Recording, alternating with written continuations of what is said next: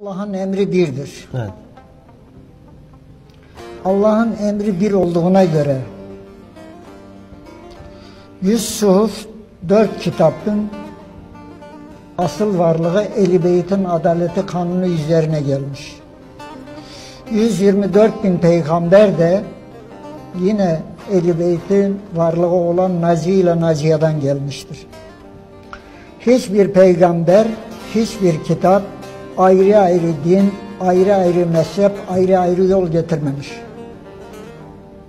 Hepsinin Allah'ın asıl dini hakkın emri rızasıdır, hakkın adaletidir.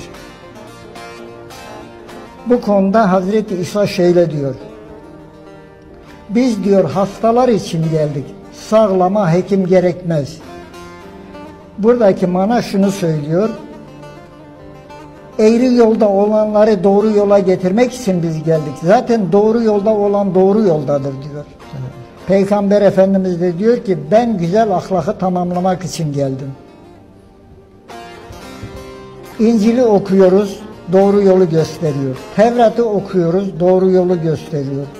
Kur'an'ı okuyoruz, doğru yolu gösteriyor ve kötülükleri men ediyor. Allah'ın ayrı ayrı dini mezhebi yoktur diyor. Allah'ın dini mezhebi hakkın emri rızası, hakkın kanunudur diyor.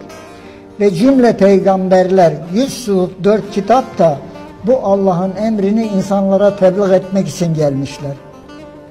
Ama ne çare ki diyor Hazreti Musa'dan sonra Tevrat azgınların eline geçti.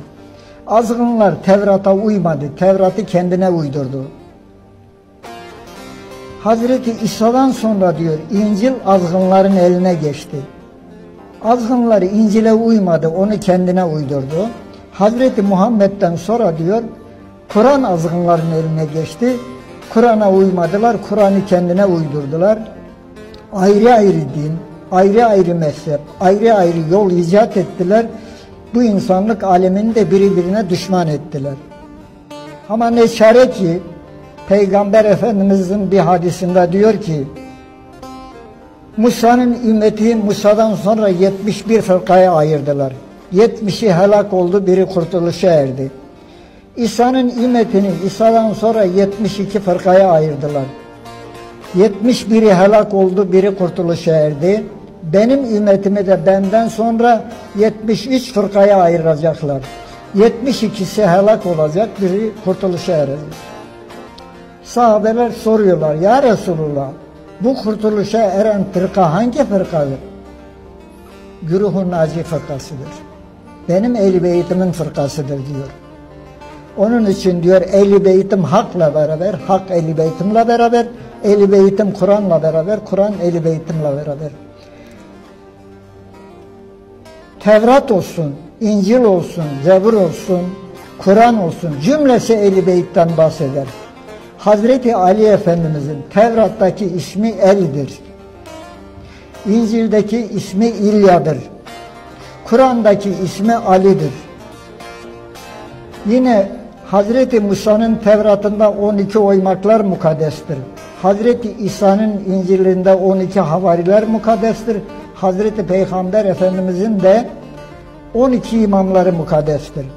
Kur'an-ı Kerim'de Yasin suresinin 12. ayetinde buyuruyor ki biz lef-ı mahfuzda her şey İmam Mühbin'e beyan eyledik. İmam-ı Mühbin Hazreti Ali Efendimiz ve evladıdır. Bu kainat bunların emriyle var olmuş, bir gün bunların emriyle de yok olur. Ama ne çare ki Hazreti Musa'nın din alimleri, Hazreti İsa'nın din alimleri, Hazreti Muhammed'in din alimleri bu dini kendi saltanatı çıkarı için kullanmışlar. İnsanları bölmüş, parçalamışlar, mezheplere ayırmışlar ve dini de kendi saltanatı için kullanıyorlar. Allah'ın emrinden bu insanları uzaklaştırdılar. İnsanları doğru yoldan eğri yola götürdüler. Adem'in devrinden bugüne kadar onun için nice afatlarla, nice tufanlarla, nice kargaşalarla, nice depremlerle, nice savaşlarla insanoğlu helak olup gidiyor. Elini vicdana koysunlar, kendi çıkarını terk etsinler, bütün insanlık alemi hakkın emrinde birleştirsinler. birleştirmezlerse onun için İncil din alimlerini suçluyor. Tevrat din alimlerini suçluyor. Kur'an din alimlerini suçluyor. Ve gerçeği hakikati de halktan gizlerler. Dini de kendi saltanatı çıkarı için kullanırlar.